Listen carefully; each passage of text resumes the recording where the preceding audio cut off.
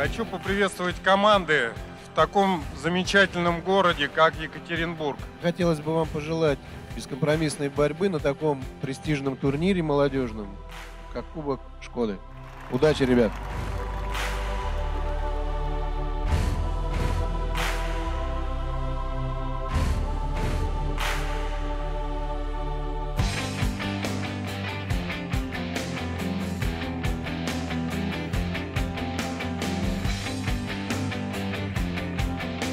Надо поблагодарить, в первую очередь, наверное, и компанию «Шкода», и Федерацию хоккея, что они находят силы и возможности проводить детские турниры.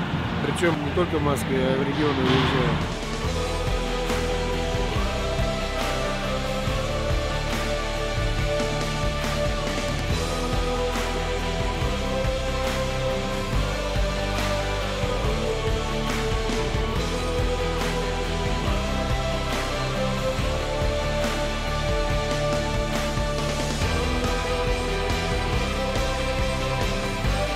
Сильнейшие.